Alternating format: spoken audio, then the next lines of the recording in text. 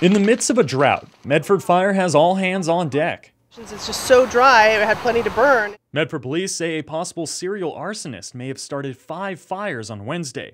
A day later, fire crews were back in action, fighting this five acre fire on the Bear Creek Greenway, which Medford Fire Inspector Samantha Matheny says was likely unintentional, the result of a transient camp in the area never know what one's motivation is. It's possible too that this was just simply accidental, or that a fire, they were cooking something for lunch and it got away from them. And just hours later, crews were back at it early this morning. Fighting two more fires on Jackson Street and behind the Medford Center Safeway. But unlike Wednesday's fires, these appear to be unintentional, but they still aren't ruling anything out.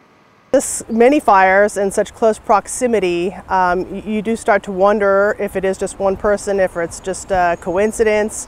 I mean, it's, it's hard to believe that, that that's coincidence. And with bone dry conditions, Medford Fire's looking for all the help they can get.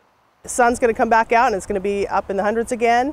It's going to dry everything out very quickly and we will still be in high fire danger. To make their job a little easier and to keep the public safe.